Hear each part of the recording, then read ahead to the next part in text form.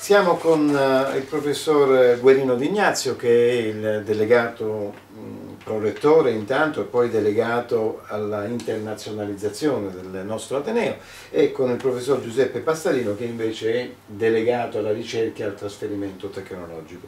Li abbiamo in studio uh, questa mattina per mettere a fuoco insieme a loro un'iniziativa molto importante che è in programma il prossimo 18 eh, novembre e che si intitola Euraccess. Ecco, al professor eh, Passarino chiederei di eh, spiegare brevemente, naturalmente andremo avanti eh, con questa intervista per qualche minuto, però ecco,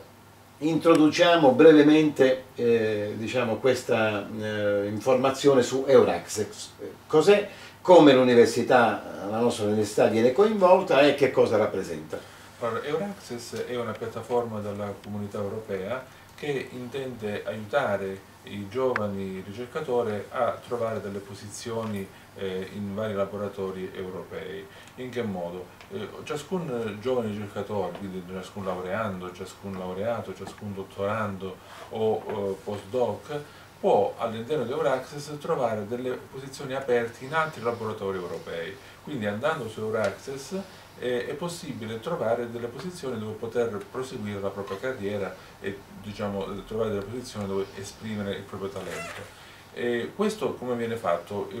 perché la comunità europea coordina in, in varie, eh, i vari atenei, i vari centri di ricerca a che tutte le posizioni aperte siano appunto eh, messe insieme e eh, poste sul portale Euraccess. Questo quindi crea una grandissima quantità di dati che cercano di fare incontrare le, i, le posizioni aperte con eh, i giovani ricercatori. Il motivo per cui l'Università della Calabria entra in questo,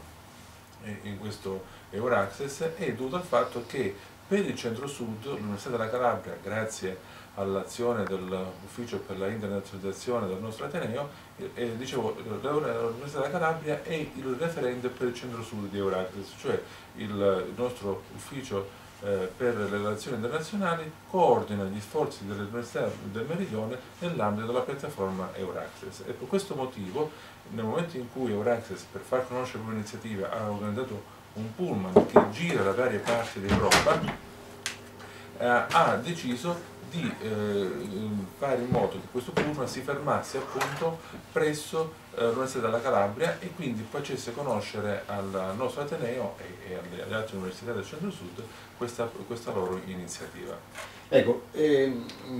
dobbiamo anche eh, evidenziare che appunto noi siamo eh, il punto di riferimento per il centro-sud, però questa è un'iniziativa che coinvolge ben 34 università europee e di, di, di, 16, di, 16 di 16 paesi. Ecco, è previsto l'arrivo per quel giorno di un bus, di un, di un autobus. Diciamo anche sì, allora, di che cosa si tratta. Come dicevo prima, è un bus che gira eh, le varie, le 34 eh, universitari in tutta Europa. E, e, in modo particolare eh, quando arriva, questo bus arriva nelle varie sedi, quindi quando arriverà qui il 18 novembre, organizzerà una serie di iniziative in cui ci saranno eh, diciamo, degli tecnici che spiegheranno quali sono le potenzialità di Euraccess ai giovani eh, che sono interessati e eh, inoltre darà la possibilità ai giovani che sono interessati di poter caricare direttamente lì sul momento il proprio eh, curriculum, di poter fare anche delle foto che poi vengono messe nel, sul portale, se vogliono, e, e, però a parte questo ci saranno anche dei momenti un po' eh, diciamo di, ehm, diversi che sono essenzialmente il fatto che i, i ricercatori eh, giovani e meno giovani spiegheranno qual è l'importanza di formarsi eh, a, anche all'estero, quindi sono dei ricercatori che hanno eh, avuto un'esperienza all'estero e quindi racconteranno la loro esperienza e quanto questo ha significato per la loro crescita personale e professionale. Eh, e questi momenti diciamo, eh, un po' permetteranno di conoscere Euraccess ma anche di avvicinarsi alla, diciamo, alla internazionalizzazione soprattutto europea in maniera diciamo, meno formale e più eh, umana. Ecco, eh, lei mi permette proprio con queste ultime considerazioni di passare la palla al professor Ignazio che come dicevo prima presentandolo è appunto prorettore eh, del nostro Ateneo, ma la delega alla internazionalizzazione. Appunto il professor Passarino diceva prima, è una piattaforma europea, eh, quindi permette uno scambio di esperienze, permette a eh, ricercatori di, di, di, presentarsi, di sapere che cosa succede, anche di capire come si può accedere, diciamo, eh, sfruttare delle, delle, opportunità. È un po' diciamo, il lavoro, una parte comunque del lavoro che l'ufficio internazionalizzazione eh, porta, porta avanti e quindi questo ci permette, le permette di ecco, mettere a fuoco meglio diciamo, l'attività eh, di cui stiamo parlando. Sì, in effetti, soprattutto adesso per quanto riguarda la ricerca, perché Euraccess è destinata diciamo, ai ricercatori, ai giovani ricercatori europei, possiamo dire che la ricerca o è internazionale o non è ricerca, ormai non si può fare ricerca a livello locale, per cui c'è bisogno che la ricerca assuma anche uno spessore di dimensioni internazionali. Euraxis è uno strumento che proprio permette l'internazionalizzazione della ricerca, permette scusate, ai nostri ricercatori di entrare in un network con altri ricercatori, come diceva prima professor Passarino, con altri laboratori in Europa, ma anche al di fuori dell'Europa, tutto sommato, in modo che si fa una ricerca coordinata, in modo che i nostri ricercatori entrino in rete. Noi quello che vogliamo è che la nostra università sia sempre più internazionale, sia un campus, cioè noi vogliamo che ci sia veramente un'internazionalizzazione del campus e questo Adesso per questo evento riguarderà soprattutto la ricerca, ma naturalmente vogliamo che anche la didattica sia più internazionale possibile, sia più un'università veramente europea quando diamo, e diamo un significato ben preciso quando diciamo di università europea. E nello stesso tempo sia, come dire, dia la possibilità a, ai docenti e in questo caso ai giovani ricercatori di entrare in contatto, di mettersi in rete, di essere in contatto appunto con altri ricercatori di altre università. Perché questo professore, a parte appunto come lei diceva, aprire sempre di più il campus a questa dimensione europea nel senso più vero, ampio sì. e concreto, ma poi anche oltre la dimensione europea, effettivamente consente agli studenti di avere che cosa in più? La, la risposta è scontata, ma vorrei che lei eh, sì. diciamo, si soffermasse eh, un po' di più su sì. questo aspetto. Un orizzonte più ampio rispetto a quello che è l'orizzonte del, del territorio. È chiaro che noi i nostri studenti, noi vogliamo che i nostri studenti abbiano una formazione di alto livello, quindi di qualità alta per eh, diciamo, competere anche con eh, i professionisti, i, diciamo, con le persone che si laureano in altre università. Però l'internazionalizzazione tende a dare proprio questo slancio e aprire le porte, cioè di apertura, non di chiusura ma di apertura. Il problema lo sappiamo benissimo, questo dire, lo ripetiamo, ma è noto a tutti che in realtà molte volte noi perdiamo, diciamo, perdiamo tra virgolette i nostri laureati perché la loro formazione la spendono poi in altri territori e quindi sotto questo aspetto non riusciamo a fare in modo che la classe dirigente del futuro rimanga sul territorio perché noi in effetti ci, ci fermiamo a dare una formazione di qualità e poi il contesto tutto sommato è abbastanza negativo sotto questo aspetto. Però per i ricercatori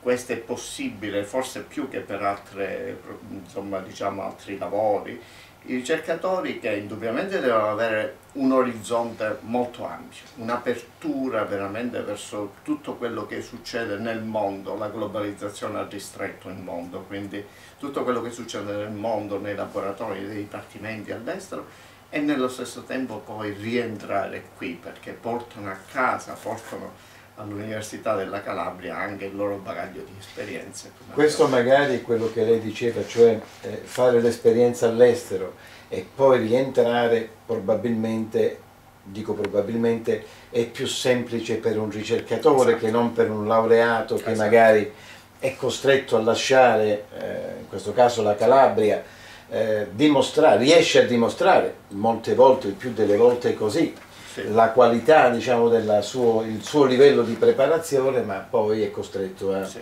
sì, a, rimanere, a rimanere fuori. Ci sono delle iniziative, per insistere ancora un attimo sulla internazionalizzazione, iniziative particolari che avete promosso, che state promuovendo e che stanno, come dire, rafforzando questa propensione o questa volontà di aprirsi al contesto globale, diciamo sì, così. Sì, sì, Noi abbiamo dei programmi, a parte l'Erasmus, che è conosciuto, che tutte le università italiane, europee, in effetti hanno il programma Erasmus, si parla di generazione Erasmus,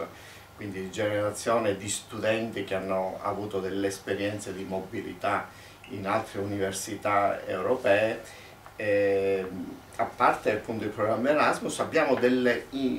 dei programmi che sono specifici per eh, questa università, per l'Università della Calabria e mi riferisco ad un programma che è Unical Admission in cui noi riusciamo ad attrarre studenti da tutte le parti del mondo, quindi vengono dall'Indonesia Oggi mi pare che siano quante le, le Noi abbiamo 700, paesi? 61 paesi, esatto. vengono da 61 paesi, abbiamo 700 studenti internazionali che vivono nel campus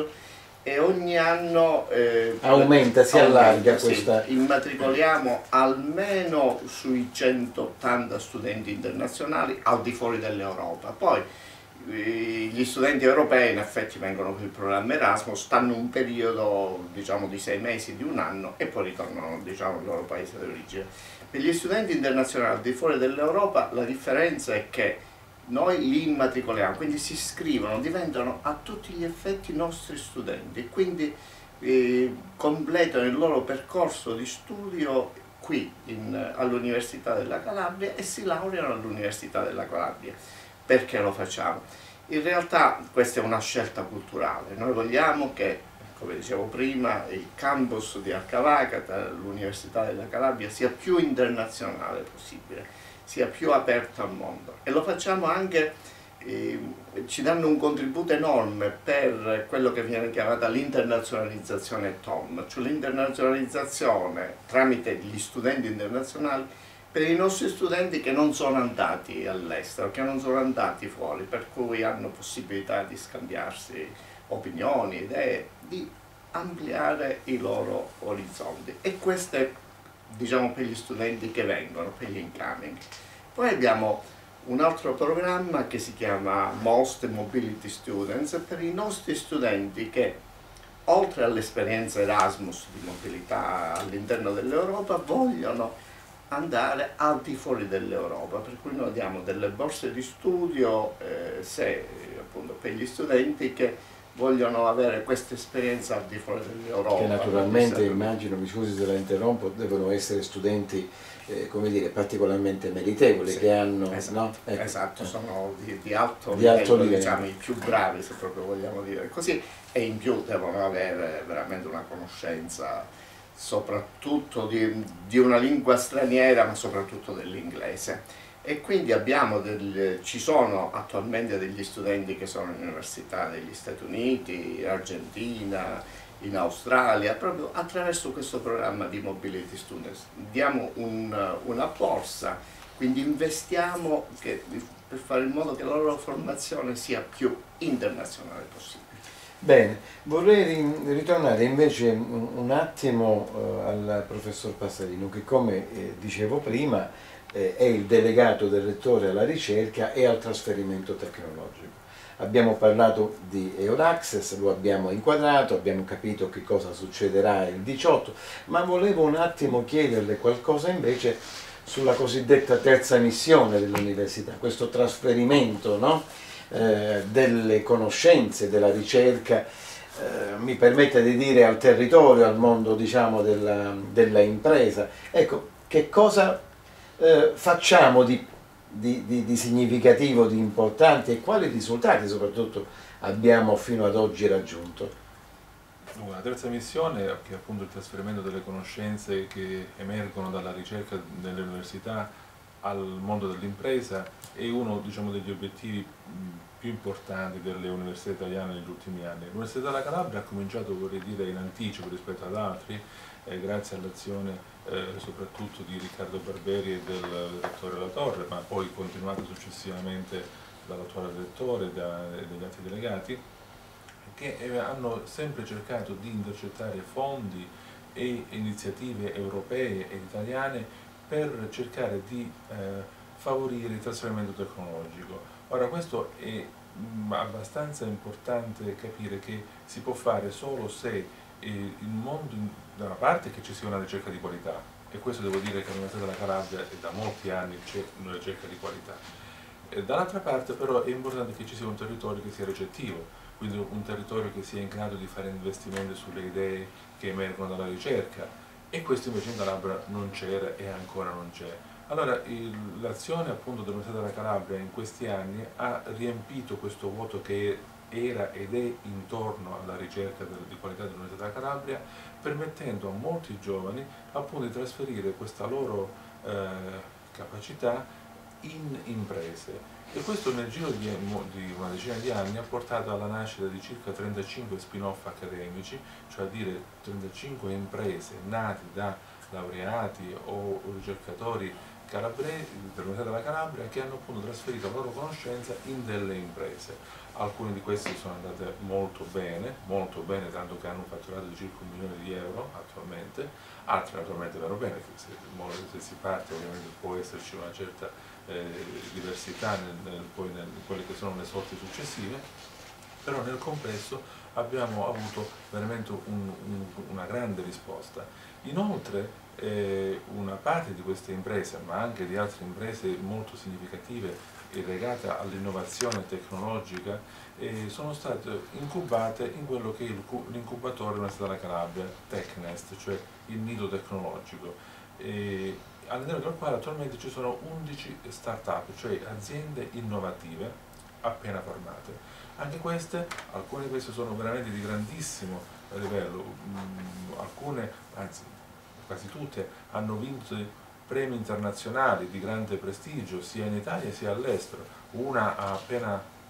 avuto un premio internazionale alla Silicon Valley, a Mountain View, che è la sede eh, di Google, tanto per intenderci. Ecco, tutto questo interesse da parte del mondo esterno eh, negli ultimi tempi ha veramente sancito quello che è stata una un'iniziativa vincente dell'Università della Calabria, tant'è che, eh, approfitto per dirlo, nel, prossimo dicembre il Premio Nazionale dell'Innovazione, che è il premio che viene dato in Italia alla migliore idea imprenditoriale eh, nata nell'università, verrà eh, ospitata proprio nell'Università della Calabria il 3 e il 4 di dicembre e, quindi ci saranno tutte le mh, 64 migliori idee imprenditoriali italiane qui all'Università della Calabria e eh, verrà premiata la, la, migliore, la vincitrice, da parte di una giuria di esperti nazionali eh, coordinata dal PNI Cube che è diciamo, l'agenzia italiana eh, che si occupa di innovazione e di e trasferimento tecnologico. Ecco, lei ha anticipato la, appunto, la domanda che le avrei fatto eh, subito dopo, però eh, c'è un'ultima questione vorrei, sulla quale vorrei soffermarmi. Lei diceva abbiamo ottenuto importanti risultati, c'è un punto di partenza indiscutibile che è la qualità della ricerca dell'Ateneo, poi questa ricerca appunto viene trasferita, eh, ha parlato degli spin-off, ha parlato delle start-up, eccetera. Però una domanda che vorrei farle è questa. Quanto sta incidendo questa attività di trasferimento sulla, eh, diciamo, sul miglioramento eh, del sistema economico, del sistema imprenditoriale eh, calabrese? Uh, non abbastanza, non abbastanza. E perché non abbastanza? Non abbastanza finora, vorrei aggiungere, sì. eh, perché il territorio è un territorio diciamo, che veramente era abbastanza lontano eh, diciamo, da raggiungere. Eh, ora, lontano ne dice, mi scusi, dal punto di vista anche culturale, culturale soprattutto culturale? culturale sì, perché naturalmente è un'innovazione estremamente avanzata che si rivolge ad un pubblico molto molto ehm, acculturato che deve essere molto pronto.